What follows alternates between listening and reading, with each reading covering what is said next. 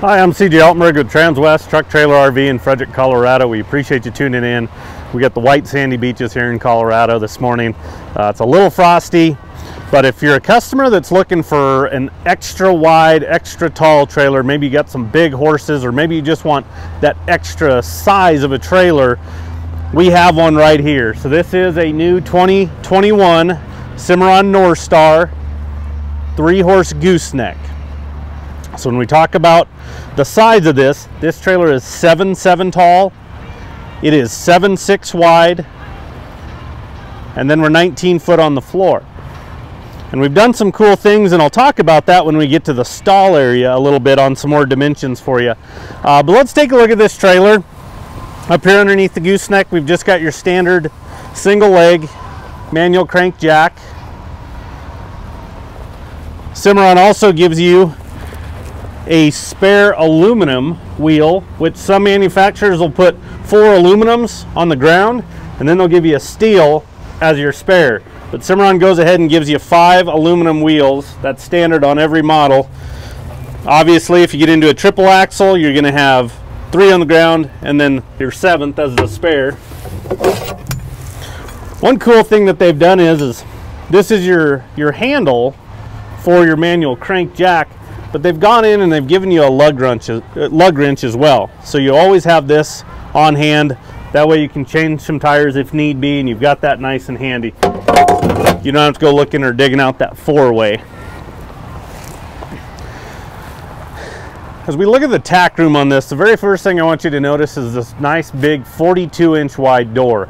We like to upgrade to this, uh, this opening of this door right here from their standard uh, 36 inches. And the main reason why is we understand that a lot of the customers that are gonna be pulling this trailer, you know, potentially are, you know, more than likely are showing big warm bloods.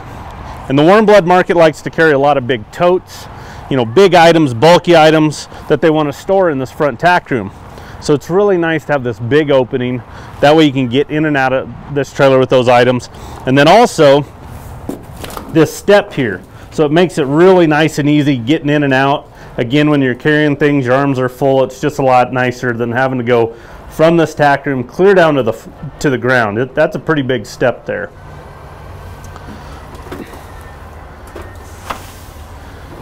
Up here in the gooseneck area, over more towards passenger side, off the ceiling there, you'll notice a clothes rod.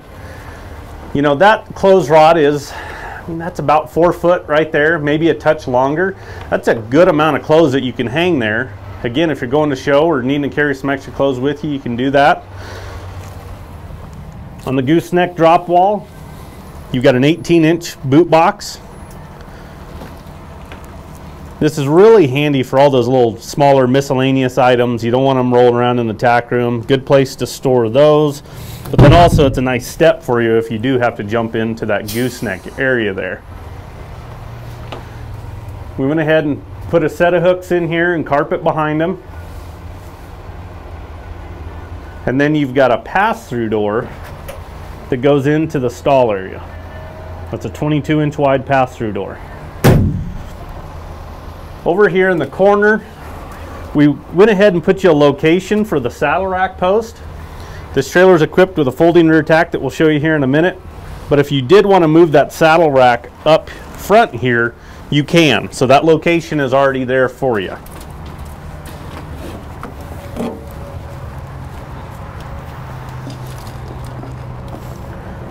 We've also got a brush tray on the door, again, for maybe some smaller miscellaneous items.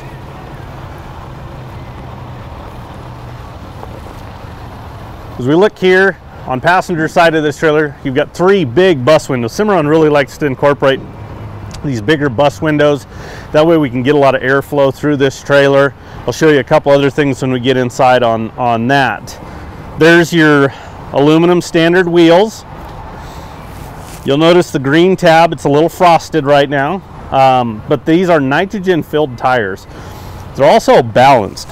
So that nitrogen is not going to allow PSI levels to fluctuate drastically, different temperature changes, um, potentially causing you a blowout or anything like that. You can put air to these. That's kind of a misconception. A lot of people think that just because these are nitrogen filled the way they are now, is you can't put nitrogen or you can't put air in these tires if you have something low, maybe a slow leak. Um, but yes, you can put air to these. It's perfectly fine.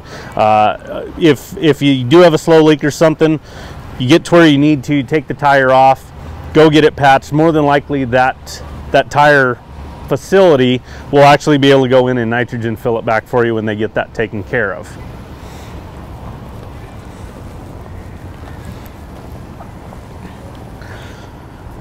So what we did is we did dual independent doors on the back of this trailer here. These are 50-50 doors. There's a look at that folding rear tack that I was telling you about. So if we want to, we can remove that post right there with the three saddle racks and a couple blanket poles and we can move that up front.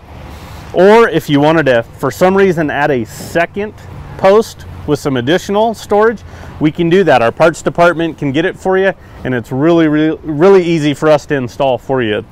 Um, we put some hooks over here on the driver's side rear door if you want to, when you do put this up front, you can use this area for maybe some additional storage, some hay, some shavings, some feed, some buckets, anything like that. Or you can collapse this down and it'll go up against the wall. Now as we get into the stall area, I kind of mentioned early on that, you know, this was an extra tall, extra wide trailer and we did some things back here as well. So typically our drop windows or our stall width is 39 inches. Now on this trailer, we understand that more than likely you're gonna have bigger horses.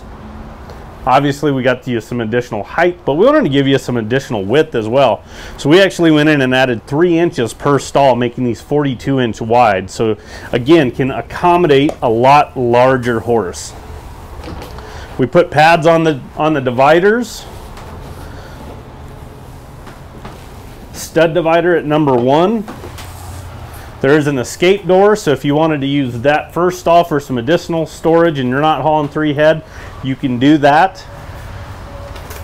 But one thing that Cimarron does is, you know, everything is has got the horse in mind and, and safety of the horse. You know, these dividers, everything has nice radius, um, not so much 90 degree edges or points to anything. Everything's nice and smooth on the on the kick wall over here.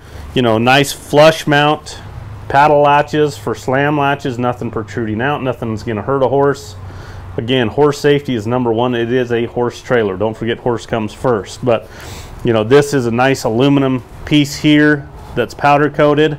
This cast piece is powder coated and then you have this heavy duty UHMW paddle latch itself. They're really really easy to shut and to open. So a lot safer for you and the horse loading and unloading. And then we're not having that metal to metal contact, which is gonna create rattles, make a lot of noise. So we've kind of hit on kind of how this trailer is optioned, uh, but I want to kind of talk to you about how it's constructed. So what I'm, I'm standing on the industry's best flooring on the market. These are 12 inch deck boards. They interlock double tongue and groove, top and bottom. So this trailer comes together almost like Legos and it gains strength as it gets built. But the centers on this are every four inches apart. So think of hoof size of a horse. Wherever they're standing on this floor, they're standing on a support beam. You know, that, that floor, as long as you take care of it over its life, this trailer will last you forever. I mean, it really will. Upright posts are more of a square, so they're really, really strong. Um, we always use the example that the the bows that they use on the roof is what the competitors use on their upright posts. To where Cimarron uses the same amount of aluminum, but it's more of a square, and it's like a pencil. It's one fluid motion on a long on a long stick of that. To where on that, you know, it kind of wobbles like a noodle. So then the question is, well, why'd they put that on the roof? Well, we put that on the roof because we have the insulated roof, which is standard on every single Cimarron. It's a half inch thick. It's a honeycomb design it's reinforced. It is extremely, extremely strong. I can walk on it. I can jump on it.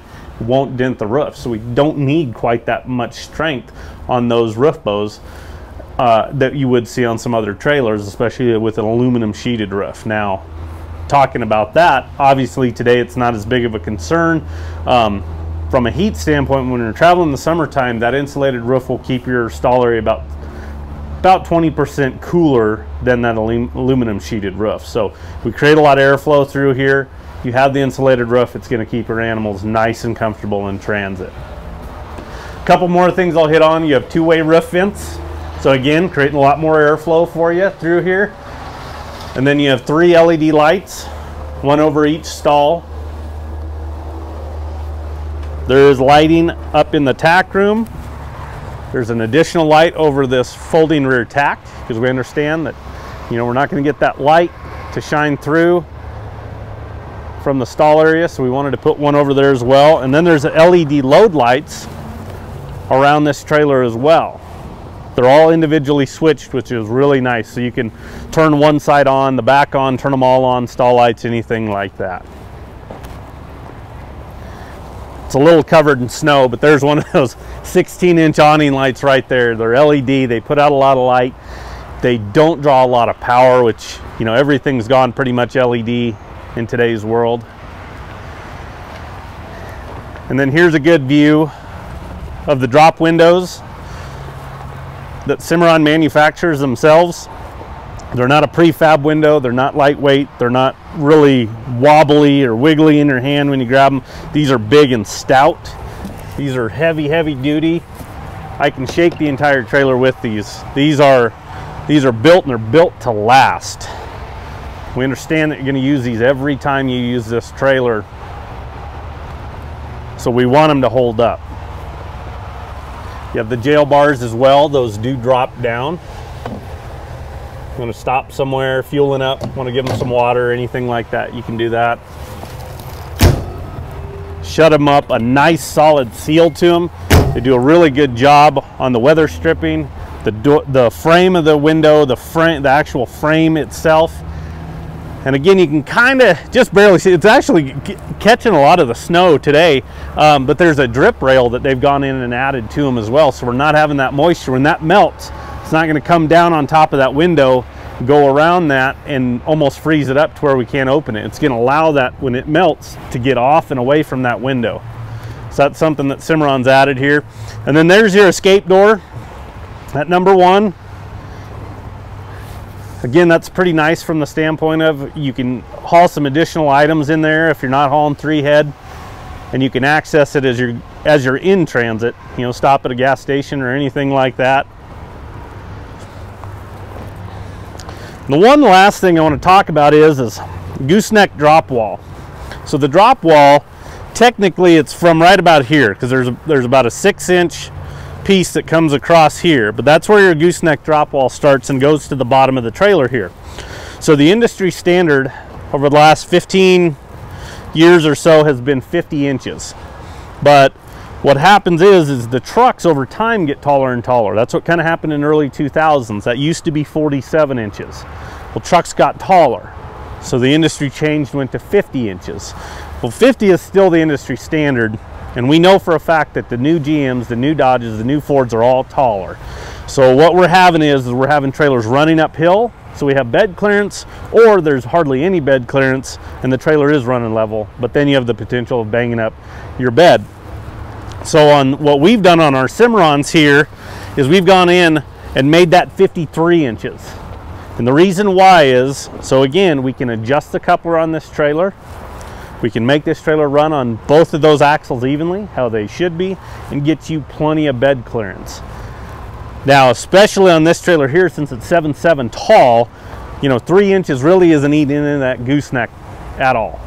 But that is a really nice thing because, you know, the again, if you buy this trailer and you take care of it, this trailer could last you a long time.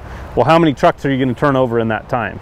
to where you're set up and you're ready to go because we really don't see a big change coming on on the height of those beds on these trucks so if you're interested in this trailer we also have this in a four horse sitting here today as well but on this one I'll give you the stock number on it again it's a 2021 Cimarron Norstar three horse gooseneck extra tall extra wide stock number is 5N 201 018 So if you're interested in it, maybe the four horse, maybe some other trailers that we're looking at, just maybe don't need the extra height and width. Um, we've got standard trailers as well. We've got straight loads. Obviously, we've got a little bit of everything and a lot of trailers on order too that we can take a look at or we can work with you on a custom build. That's not a problem at all. We'll be happy to help you through that process. Give us a call. Anybody on the sales team can help you out. 303 684 3400. Stay warm. Thank you.